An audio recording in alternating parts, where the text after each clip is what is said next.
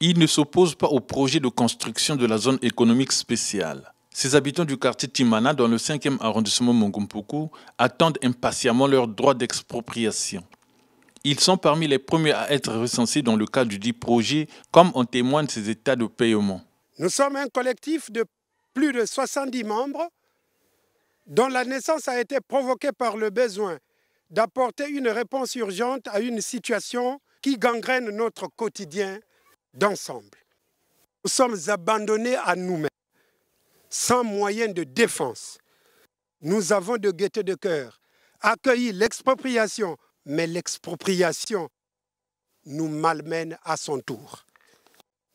Nous nous empressons de vous mettre à contribution par la présente, de sorte que, de par votre position dans l'appareil de l'État, vous daignez en toucher un mot au président de la République, premier garant de la vie des citoyens, remettre de l'ordre dans les maillons de la chaîne d'expropriation pour que nous soyons, dans un court délai, remplis de nos indemnités d'expropriation, unique condition susceptible de nous mettre définitivement à l'abri des difficultés et dangers décriés lorsque vous aurez agi de la sorte.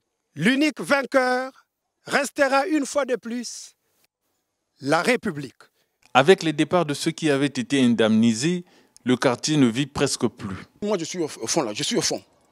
Et ceux qui sont devant, ils ont aussi de l'argent, ils sont sortis, ils ont libéré. Donc, du coup, pour vivre, c'est vraiment, vraiment, nous sommes dans des difficultés vraiment. C'est ça qui fait que je puisse libérer la zone. Parce que nous sommes dans la sécurité. Tous les jours, les gens font rentrer dans le quartier qui ne sont même pas concernés dans cette affaire-là. Mais ils viennent prendre les tôles, ils viennent, casser les maisons. Vous-même, vous voyez, il n'y a pas les mots pour dire ça. Que le gouvernement finalise l'expropriation qui a été prévue. Nous, nous avons déjà nos états de paiement. Donc ça fait deux ans que je suis dans l'attente. Tous mes voisins sont, ils sont tous partis. Et je suis seul. Les, les inciviques, les voleurs, la nuit, nous ne sommes pas en paix. On ne dort presque pas. Les herbes qui envahissent certaines parcelles abandonnées servent parfois de repère aux inciviques. Des actes de vandalisme y sont souvent signalés.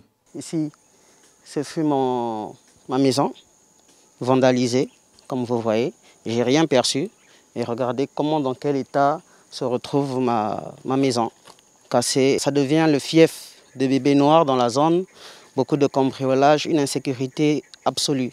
Je lance un cri de cœur au président de la République chef du gouvernement, de pouvoir finaliser le bon élan qu'ils ont commencé, car beaucoup de nos concitoyens ici ont déjà libéré la zone, ont perçu leur indemnité concernant l'expropriation.